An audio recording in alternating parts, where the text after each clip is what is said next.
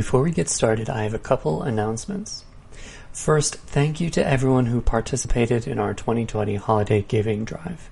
Our goal was to raise $25,000, and because of your support, we were able to do so. So thank you to everyone who gave, and uh, also thank you to everybody who is not able to give but supports the Institute in other ways. We need all of you in order to continue our work. Also, applications for the analyst training program are closing on January 15th. So if you are applying to the analyst training program, please make sure to get everything in by that date. Also, we have registration open for an upcoming program on February 5th. The program is Love, Eros, and Emptiness in the 21st Century. The Mandala Speaks.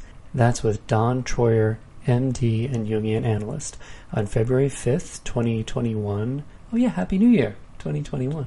From 1 to 4 p.m. Chicago uh, Central Time. So to register for that course, just visit our website. Thanks.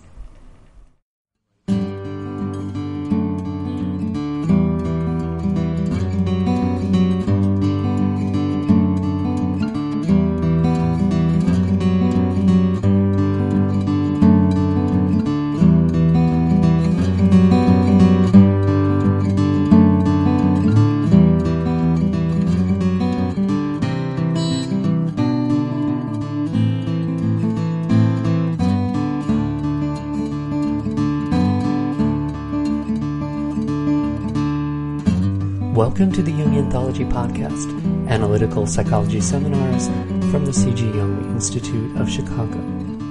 Finding personal resilience in changing times, an interview with James Hollis. In this episode, Patricia Martin interviews James Hollis, PhD, about his recent book, Living Between Worlds Finding Personal Resilience in Changing Times.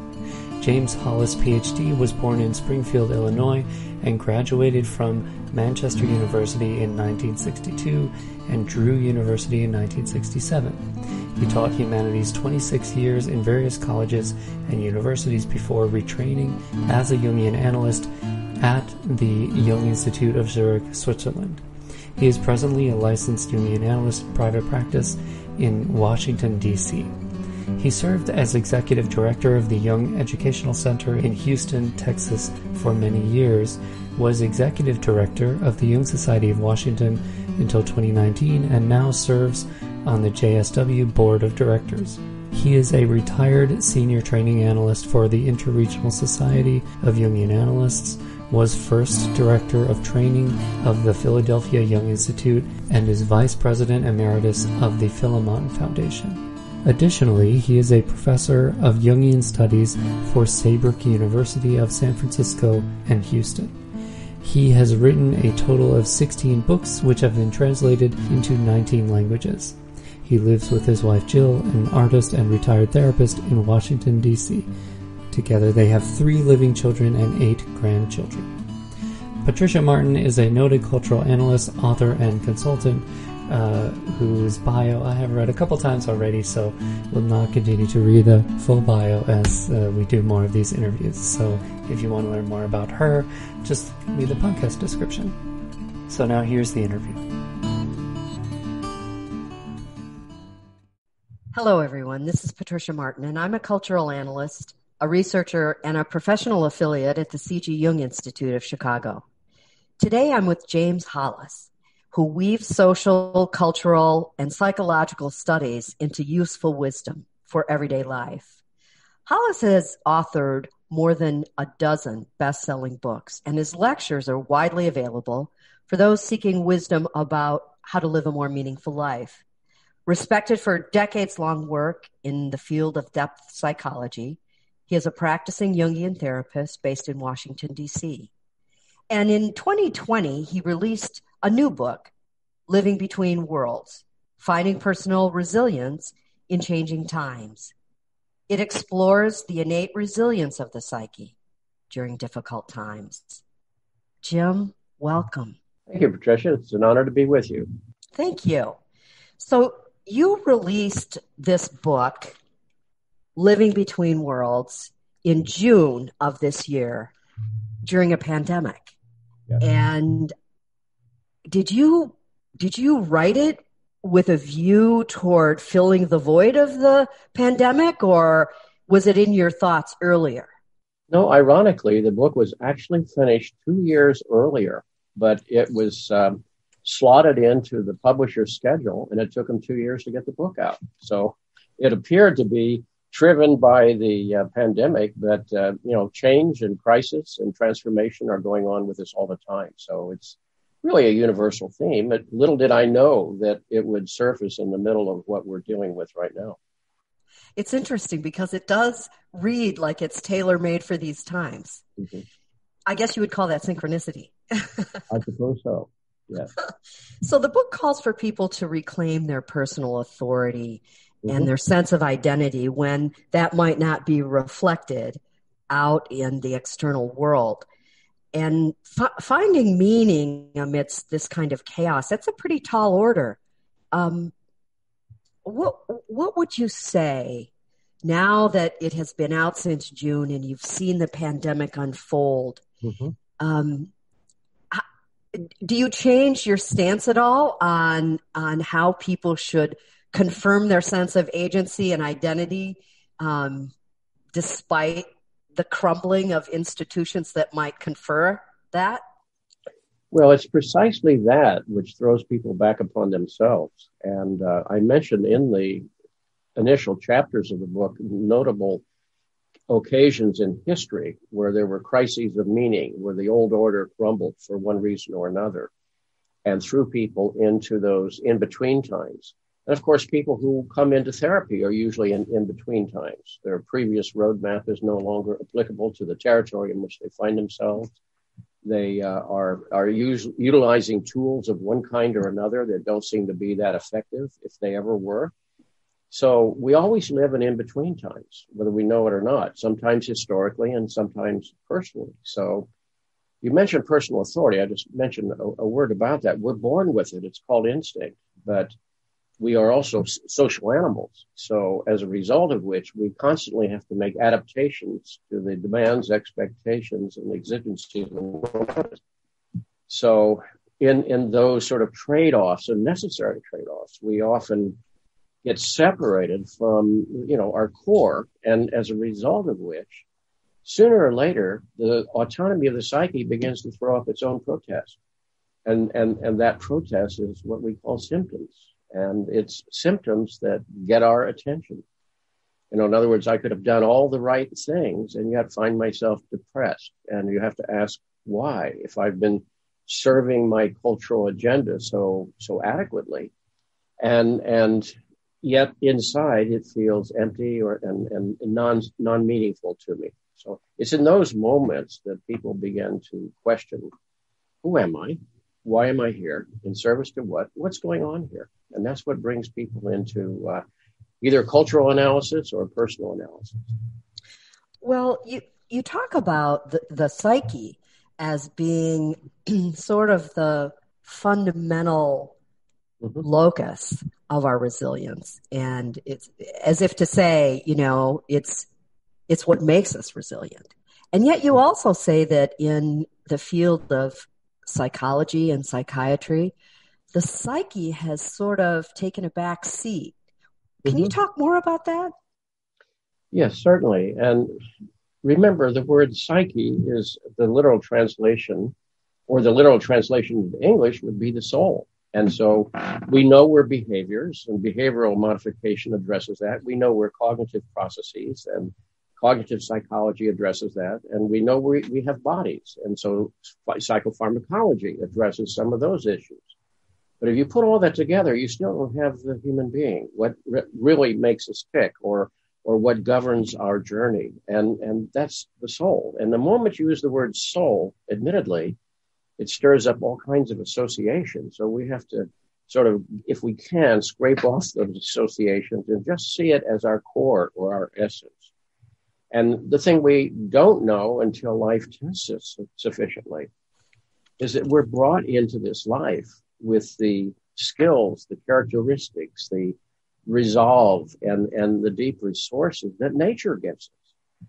And we may not know they're there, but just briefly, we all have a feeling function, which we've learned to override, but our feelings constantly are giving us a qualitative analysis of where we are at any given moment. We, we also have energy systems. We can mobilize our energy in service to necessary tasks. But uh, at the same time, if we keep doing that in the wrong directions, it leads, as we know, to boredom and then exhaustion and then depression and self medication and, and so forth. We also have dreams that are constantly speaking to us about how things are going from that other perspective. And, and fourthly, we experience our lives as sustained by meaning. And when we have meaning, as Jung pointed out, anything is bearable. All tasks in a certain way can be undertaken. But without it, life sickens and sours, and, and we find ourselves, you know, living in some kind of psychological sterility of some sort. So this happens again uh, throughout history. But we also have to remember we've been equipped by nature, just as our ancestors were, to, to in a sense, draw upon those inner resources. And right now, in the pandemic, of course, a lot of people have found the degree to which they were depending on their friends or their familial connections or their various forms of escapism or or the daily assignment of their work schedules. And, and when those others are not there to take us away at some level from ourselves, then again, this leads us to fall back upon ourselves. And back in the 17th century, Blaise Pascal said, our greatest difficulty rises from our inability to sit in a private chamber with ourselves. In other words, to tolerate ourselves. Now that's in the 17th century, mind you. And he mentioned that at that time, he said, even the court, with all of its privilege, and we could say for most people in the Western world, we live a privileged life compared to most of humanity and most of history. But he said, even the court had to invent the gesture because the gesture diverts the, the attendees of all of that privilege uh, so that they not reflect upon themselves. And it's that kind of separation that a lot of people are confronting right now throughout our country and, of course, other countries around the world. I find it interesting that you mention in the book, in in a couple of places, um, the idea that in previous cultures there has been access to the gods and the myths and archetypes that um, were shared commonly among people, fairy tales, um, and of course, Jung is is uh, used fairy tales as an integral part of his work. Uh, but now we don't quite have that same system. And so during these times, people are, you know, they're falling into some of the things you talked about, but adding a layer of media habituation mm-hmm. that is, um, it's taking a toll if you were to, to assess that, what would you say it's doing to us? Well, just to follow up on your point, and it's it's an important point. Historically, people were sustained, given a sense of personal identity, a, a sense of locus in the cosmos, by the informing myths of their time. And by myths, we mean those energy laden images that connected them to the cosmos, to nature, to each other on a tribal level and to their own um, identities. You you sort of erode that, and what happens? You fall back upon yourself. And um, the great treatment plan that our culture has worked out for it is uh, is popular culture, whose gift is and curse is diversion. Uh, you know, to divert us from reflecting upon ourselves, as Pascal noted. And it was his word back in the 17th century, divertissement, from which we get the word diversion. And so, what are we diverting from? We're diverting from an encounter with our own souls. And that suggests something about the degree of self estrangement that is furthered by those constant plug-ins that we have with the 24 uh, hours, seven days a week, um, you know, distractions of the world going on around us. And, you know, that, that leads ultimately to you know the pseudo religions of the modern era. Um, you know, people need to find something that gives them a sense of direction and purpose. And you know, our pseudo religions are materialism uh, in the fantasy that I, I fill my emptiness or assuage my anxieties by purchases and filling my life with junk, um, with uh, hedonism, search for pleasure, avoidance of pain, and um, you know narcissism. It's all about me. It's not about connection with other people. It's not about community. So uh, the, these are modern religions, and a few others we could throw in, and and they're not working so well, as we all know. So that's fascinating that you throw narcissism in there because um, I think many of your colleagues might agree that it's um, it's somewhat of a social epidemic mm-hmm. um, psychologically.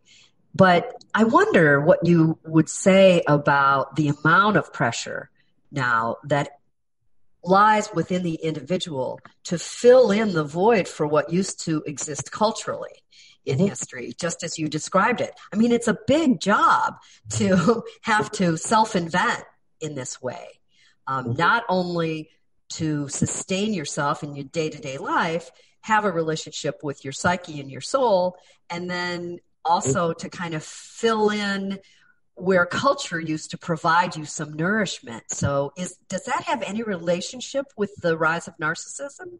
Well, I think so. And uh, really, this is a, a double issue here. First of all, Jung repeatedly noted that what it means to be modern, or in our time, postmodern, means that the um, sort of locus of meaning has shifted from those tribal mythologies and sacred institutions to the shoulders of the individual, which is certainly daunting and intimidating for many. It's also a great privilege and a great freedom, and I think a deep dignity that comes to the person. So that I'm defined by what, what is wishing expression in the world through me as opposed to my plugging into the collective around me. The second, second issue here is there's very little in our culture that encourages people to find their own resources or even informs them that they have them. So, for example, um, who takes seriously working with one's dreams? You know, that's something that's, you know, it's kind of an amusement for a few people, but very few people realize that every night, autonomously, our psyche is speaking expressively about its perspective on our life. And yes, it does use a symbolic language. It doesn't clank out a, telex to tell us this or that very clearly. But, um, you know, as Jung pointed out, it's up to us to begin to learn that language that rises from our own soul. We are the symbol making animal, after all. And, um, you know, dreams uh, research studies have indicated that if you reach 80 years old, as I am right now, we will have spent six years of our life in dreams. Now that's extraordinary. Wow. It doesn't, you know, waste activity. It's serving a purpose, you know, and part of it, I think, is the metabolizing of the magnitude of stimuli that come to us every day, which is why we have to repair from the world and, and rest up and, and so forth. It's not only the restoration of, you know, physiological tissue, it's also about the psychological tissue as well.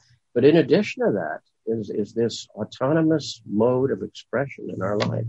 So uh, dreams alone are but one example of how we've become estranged from what our ancient ancestors would have taken very seriously. It's interesting because you also talk in the book about how depth psychology has been sort of muted um, in preference for things like behavior modifications and mm-hmm. um, coaching and it's a it's a fix it system mm-hmm. rather than a yeah. system of self examination. Mm-hmm. And I'd love you to talk more about that. Mm-hmm. Well, I have a funny example. I was in the hospital recently, and a nurse asked me what I was what I did for a living, and I tried to tell her, and and she she said, Well, how is your approach different from someone else? And I said, Well, for example, we try to evoke a conversation with the unconscious. And she said, Oh, I get it. You work with people in a coma, right? I couldn't help but laugh at that, and and uh, that was that was saying something about the world that she lives in. And I'm not criticizing. I'm just I just found it sort of amusing that the idea that we could have a conversation with ourselves was a very foreign idea. And, and underneath all of that really is an invitation to the therapy of meaning. In other words, I, I think we all, as analysts, certainly at times involve and, and employ behavioral techniques and, and, cognitive restructuring techniques. But in, in the long run, this is about a conversation with your own depths, and that's not narcissism. It's quite the contrary. It's it's it's going to take you places that your ego probably doesn't want to go. It will it will take you to places where you're you're asked to confront or deal with uh, dimensions of your life that you didn't know were there. It may be a summons to something that asks for more courage than you would want to have to bring to the table. Or it may reveal dimensions of your shadow, and we realize we're not quite the virtuous person we'd like to think we are. So um, it's it's essentially a kind of therapy of meaning, if you will doesn't mean we ignore the practical dimensions of daily life, you know, marriages and career choices and dealing with children and all of those sorts of things. And it doesn't mean that we, we, you know, steer clear of the usual range of psychopathology because again, a psychopathology, if you understand its roots, is literally translated as an expression of the suffering of the soul. That's what the word psychopathology means. But again, um, modern psychology, by and large, has rid itself of the idea of psyche in, uh, in, in sort of service to these behavioral and cognitive modifications, which have practical implications, yes, but don't ever really speak to our depths and don't really, I think, lead to transformation. Well, I, you know, when I think about how I have a sense of my own psyche, it's really through my dreams. Mm-hmm. Um, there are certainly other, you know, other things that speak to me, but dreams are so essential. And of course, uh, mm-hmm. uh, Carl Jung built much of his theories on it. So here's the thing I wonder about 60 million Americans go with less than four hours of sleep a night, mm-hmm. which means they're probably not going into a dream state. Well, they probably are. It's oh, you think so? Maybe concentrated uh, sleep research tells us we average six dreams per night. And of course, most people say, well, I don't, or I never remember them. Well, that may be true, but um, it's, it's also true that, as I said, lab studies have indicated about that many sleeps, or dreams rather. So I could imagine that that's concentrated in those four hours. On the other hand, we know when there's been, uh, you know, sleep medication or alcohol or something like that, a person is often pushed into a deeper trough, and it's not in that area of brain activity that where the dreaming occurs. You know, it's in the upper range of brain activity. So those people who have been in sleep research studies that were allowed to sleep but not allowed to dream, they'd be awakened the moment they start dreaming, then they can go back to sleep. Found after a number of days of this that they began to have experiences not unlike hallucinations it's almost as if that whatever the material was, was demanding somehow to be addressed, somehow be processed. And so it, it again says something about the psyche as a self-regulating system. You know, our, our inherent condition is self-regulatory. That's why, from a depth psychological standpoint, we we don't try to say how quickly do we fix, you know, whether the symptoms are. We'd rather ask the question, why have they come? Why are they asking of us, you know, some some further attention? I'll give you a quick example. When I was in my early 30s, I had achieved all the goals that I thought were important for my life, and I was I was happy with them. At the same time, I began to experience a serious depression. That's what took me to my first hour of analysis many moons ago. I didn't think at that time I was starting a different kind of journey in the second half of life. I was just wanting to sort of deal with a depression but uh, then, then I began to realize, all right, depression is something pressed down. What is it that's pressed down? Or the way I would put it today is, why is your psyche autonomously withdrawn its approval and support from the agenda that the executive suite upstairs, there at the top of the Sears Tower, are sending down as messages to us, you know? I mean, for example, you know, try to imagine you're going to dream of what hamburgers tonight, or or the Chicago White Sox, or something like that. Your psyche's not going to pay any attention to you. It has its own life. It has its own autonomy. It's going to speak of what it wishes to speak of, And then it behooves us to say, well, what is trying to communicate with me here? So ra- again, rather than sort of say, how quickly do we fix this problem? We, we ask, what does it really mean for me? Maybe it's, I'm, I'm fond of saying that depth psychology always asks the question, what is it about really? Or it's not about what it's about. So the question then is you have to ask, what is this really about? And that's when you begin to enter that uh, deepened dialogue. Now, admittedly, not everybody can be in, in depth uh, psychotherapy or psychoanalysis, and, and nor should they. But at the same time, you have to say, all right, then if that kind of reflection, that kind of consideration is neglected, what happens to a person? Where does that energy go? Where do those symptoms show up in their children, in their marriages, uh, in their unconscious behaviors? Because we have to say, whatever I'm not addressing is still spilling into the world through me, whether I pay attention to it or not. So, this business of the in between time that you described in your 30s, where you you know you, you really took a, a change in your life yeah. you had been up until then uh, a professor correct that's correct this in between time it seems to me uh, is is one and based on you know reading your book one of the things it calls us to do is maybe what jung said about facing fear and actually, uh, he said only boldness can deliver us from fear. And if the risk is not taken, the meaning of life is somehow violated and the whole future is condemned to hopeless staleness. Mm-hmm. Is that where the collective is right now? I mean, you titled this book in between times. Yes. Are we fa- are we struggling to face fears that we need to face? Well, of course. And, and one of those fears is this is the first time since World War II where a, a social issue has reached directly into every household in North America and threatened each of us because the, the virus, as, as you know, is, is not particular and, and has no prejudice. It simply shows up wherever it's going to show up. So, you know, Jung's point there is, I think, critical.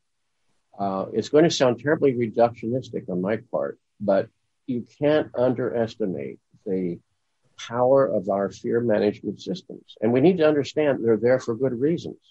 We learn how to cope with life, how to protect ourselves in our fragility and our vulnerability. That's true. The thing that I learned in Zurich in several years of analysis was astonishing to me and continues to be but essentially was this what you have become, which is to say, the assemblage of behaviors, attitudes, and reflexive defenses in this world is now your chief problem. And, and therefore, you can see why, as Freud pointed out so, so well over a century ago, the enormous resistance that we all feel to change, to self examination, because it means, as you just suggested, we will have to face our fears we will have to start dealing with that which does not wish to be uh, dealt with. And so when we do that, we, we then have to take on a larger responsibility, a larger accountability to our souls. One of the ways I put this is in the first half of life, your agenda is essentially a social one. We have to develop enough ego strength to cope with our parents, to you know, deal with playmates on the, on the school ground, step out into the world, begin to form friendships, relationships, careers, etc., etc. But then having done that, why are we still here after, you know, maybe reproducing the species or played a social role? Then you begin to realize something inside has been agitating, but it begins to agitate with greater fervor that is soliciting a different kind of dialogue. And, and it's at that point, and Jung pointed this out in an essay many, many decades ago called The Two Stages of Life, where the dialogue has to be between the ego world and, and the world of the psyche. And, and that is the richest conversation we will ever have. And it directly affects the quality of all of our conversations with people otherwise. Because a, a you know inescapable fact of all relationships is they can be no more evolved um, with the other than I've evolved in relationship to myself. And while that sounds simplistic and, and a, a kind of truism, the implications of that are, are profound because it means the best thing I can do for others is work on that sort of conversation with what's really going on inside of me. Because where I'm blind or stupid or fearful and, and blocked is still happening in the world. Still is burdening my children or, or showing up with employees or something like that. So this is the ultimate form of social accountability, ironically. That's why this is not a narcissistic preoccupation. It's affecting the quality of all of our engagements with the exterior world. Well, I as I think about your your answer, which was very detailed, thank you. I I also wonder about that external world that mm-hmm. the individual faces that really has I think the message has been that it's smart to be fearful. If you're not fearful, you're naive. Mm-hmm. And I I wonder what you would say to that. Like how is that how are you seeing that kind of embrace, that cultural embrace of fear mm-hmm. um, showing up in your work as an analyst? Well, first of all, fear is not the problem. Um, fear is a, a, natural attribute of the animal that we are. If I had no fear, I'd just walk in front of the car or I would approach the tiger. Uh, fear is, is protective. The issue, though, is the degree of autonomy that it begins to assume in our life. That's why I said you'd be shocked if you really tracked so many of our adaptive behaviors into the underground, you realize they're fear-based responses. You know, fear is not the problem. the real pragmatic question is what does that fear make me do? Or what is that fear keeping me from doing with my life? And that I say is a pragmatic question because that shows up in our relationships, our careers, our, you know, life strategies and, and so forth. So, you know, as I put it in a book called The Middle Passage many years ago, we waken every morning with two gremlins at the foot of the bed. One is called fear that says, you know, it's too much for you out there. You can't handle it. Better, better play it safe. And the other is lethargy, that internal ener- energy within us that is regressive, that wants to avoid conflict, wants to avoid showing up, wants to avoid rigor. And, and they're the enemies of life. And every day, no matter what we did yesterday, they show up today and they'll be there tomorrow morning. So fear and lethargy are intrapsychic. Now, of course, there are cultural forms that, that trigger these fears, as we well know. And we're, we are, as historic creatures, a, a series of res- reflexive responses to those fears. That's what complexes are, after all. So whenever I'm in the grip of a complex, I'm literally pulled out of this moment and thrust into the time and place and general powerlessness that the complex uh, uh, had when it was generated. So again, becoming aware of these clusters of energy that we have that were necessary because history happens, adaptation is obliged. Um, and at the same time realize there's a shadow government inside of each of us that is playing out its role time and time and time again. And that's why the psyche has to show up and say, say in so many words, we are not amused here. You know, we down here, metaphorically, are not amused with how things are going upstairs. And we're going to uh, engage in a work stoppage, let's say, or we're going to sabotage your well-being until such time as you stop and pay attention to it. So you talked about in the book and, and really throughout this this interview you've mentioned things about you know coming alive and being in alignment with the uh, psyche and the needs of the psyche what about what about your own life I, I was reading you know 16 books and i believe you have another one in the works correct mm-hmm. yeah. right yeah. you you you lecture widely um, you uh, you play roles in various Jungian institutions and you run a thriving anal- analysis um, practice. So, what drives Jim Hollis? Well, that's a good question. Um, and I think there are two answers to it. There's always pathology. And remember, when I use the word pathology, it's not a judgment. I, I grew up about 200 miles south of um, Chicago in Springfield, Illinois. My parents were uh, children of uh, impoverishment and of the Great Depression, and they had a very, very tough life. And I realized as a child, though I could do nothing about it, that their life was governed by fear and adaptation and, and the necessities of survival. So I got from them a very strong work ethic but I also realized that I, I had to somehow find some other resources that would help me escape from all of that, or at least not be defined by it.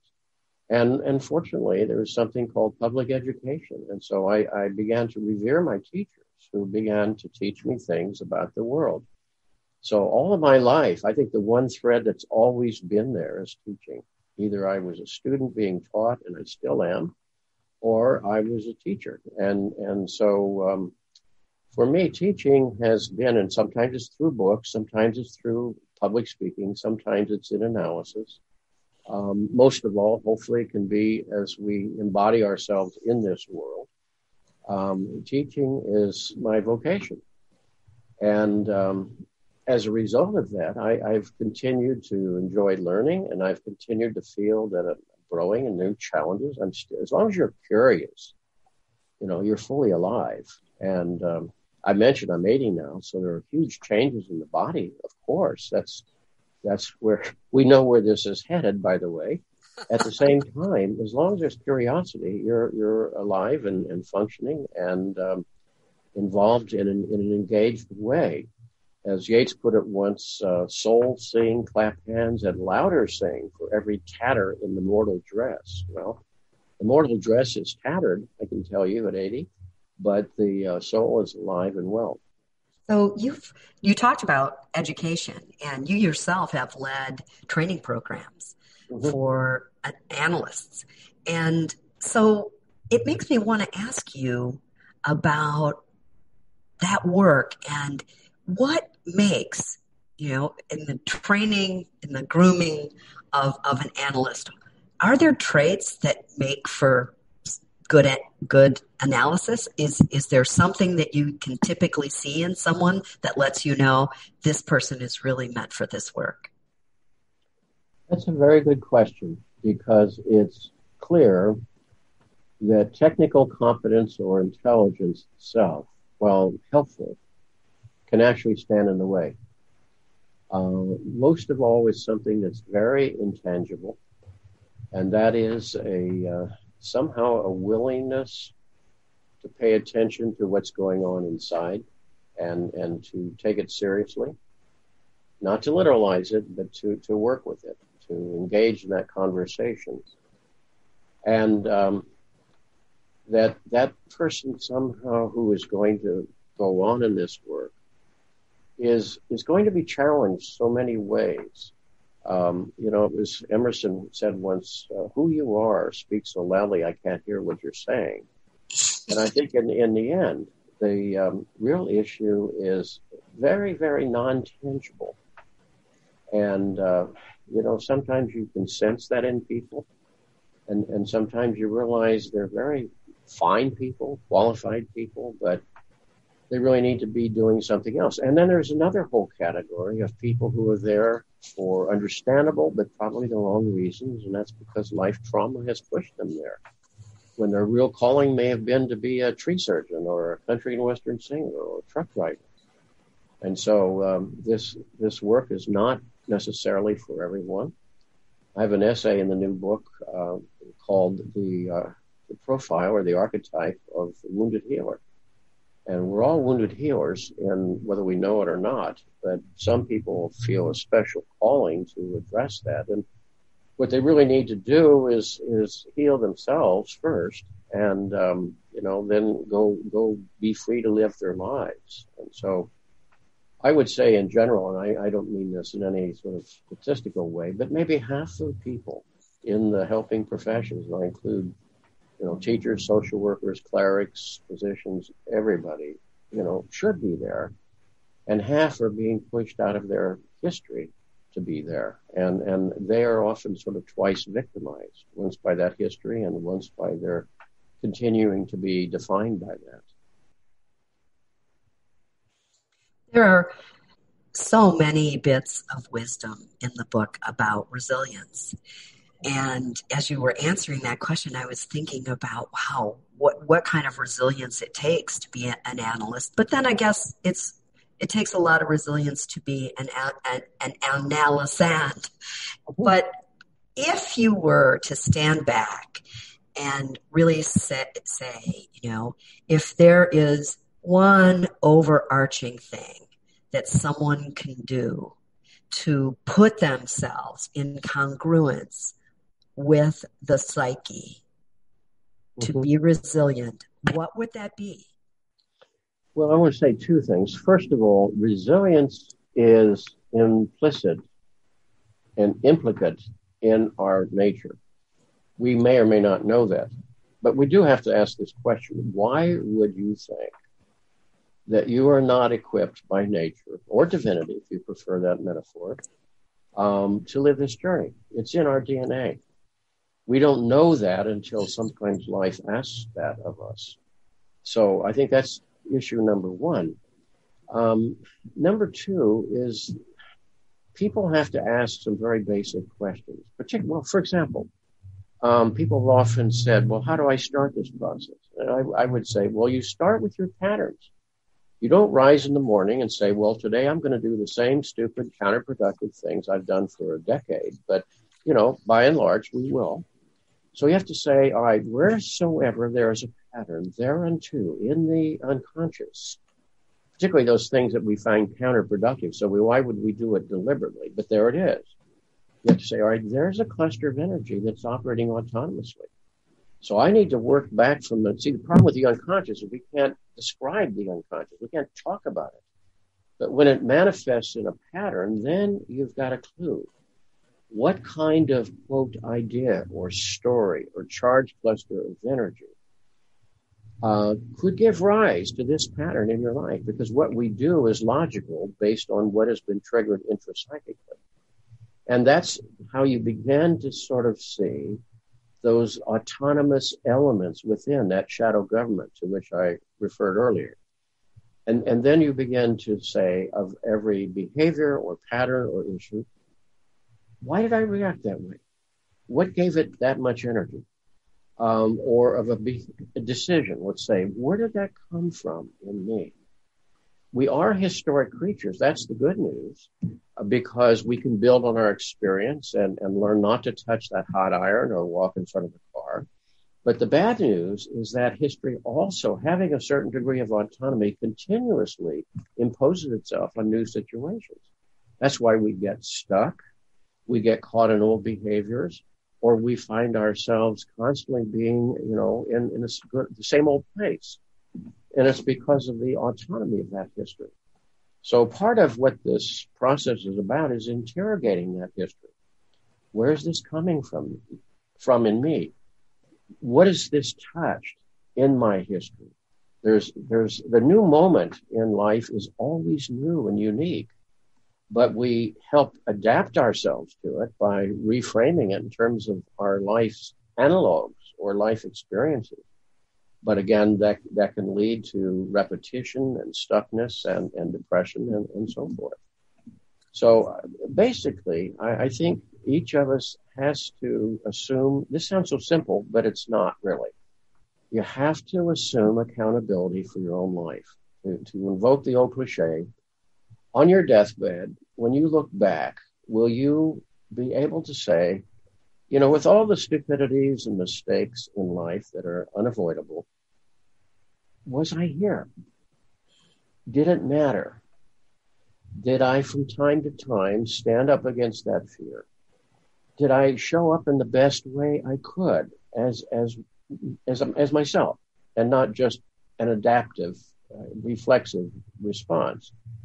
And, and did I, at some level, help embody what wanted to enter the world through me? Because again, the agenda of the first half of life is what does the world want of me and how do I meet those demands and expectations? Second half of life is what wants to enter the world through me? And, and that's why, you know, I continue to be a teacher and a writer and, and, and so forth.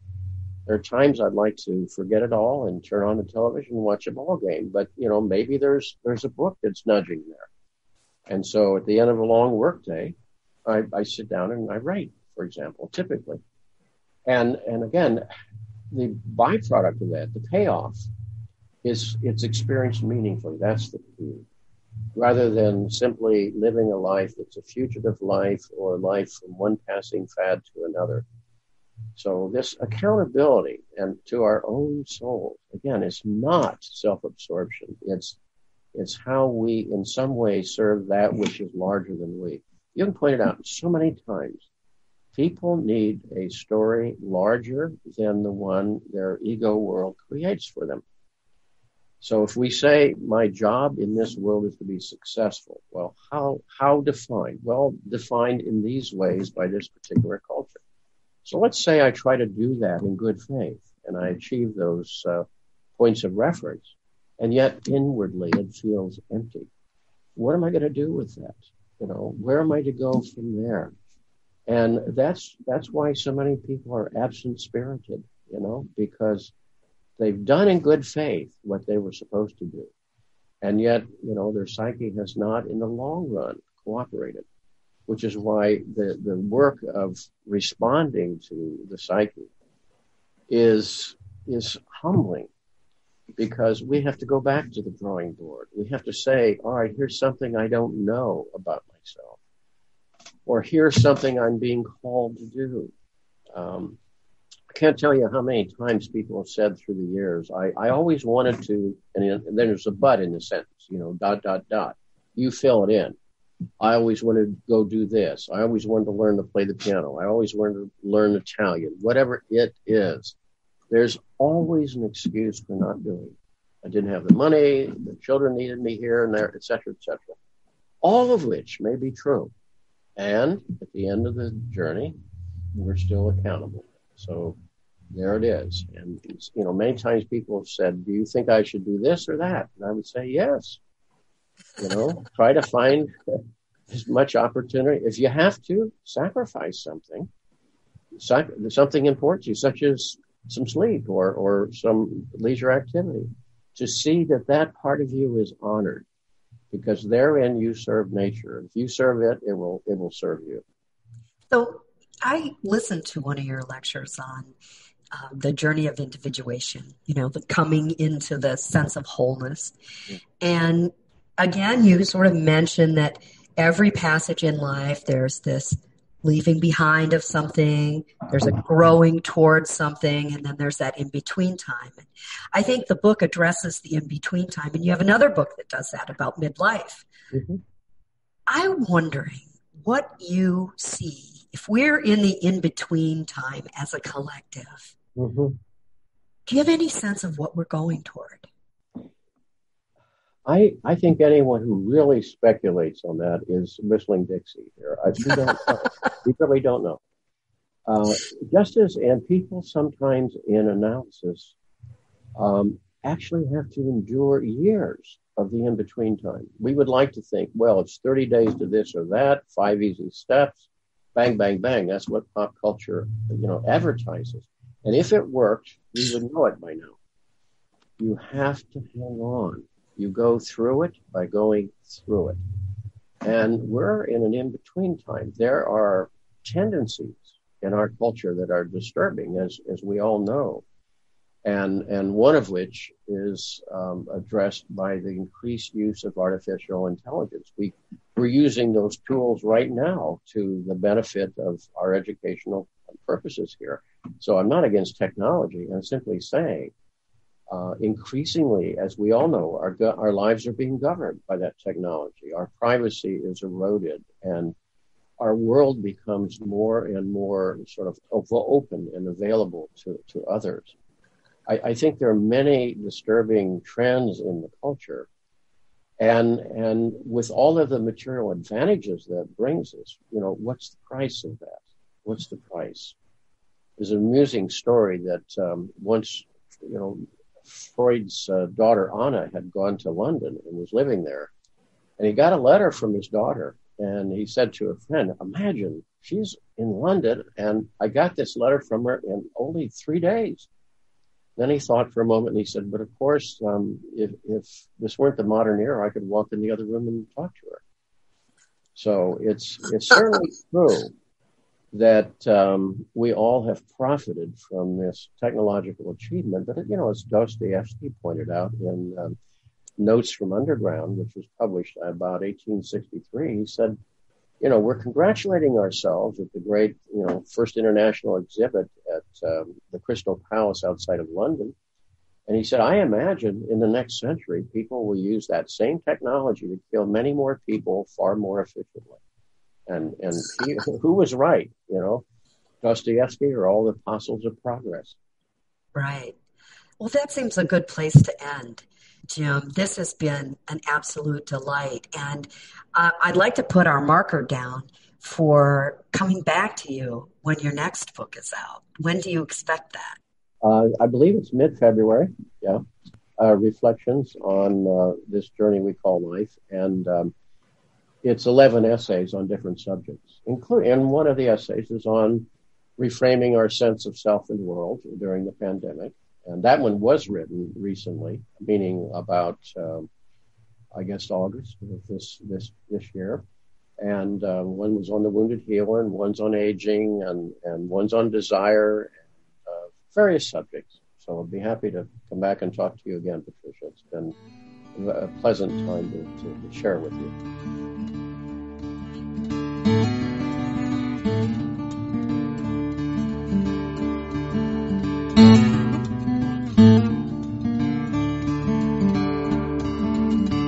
This podcast is distributed under a Creative Commons Attribution, Non-Commercial, No Derivatives license. Share it all you like as long as you maintain the attribution to the speaker, but please do not change it or sell it. If you like this episode, tell your friends about us or leave us a review on iTunes. For more information about classes, training programs, videos, audio, this podcast, or to find a Jungian analyst near you, visit our website, www.jungchicago.org. Thank you to the 2020 donors who gave at the supporting member level and above.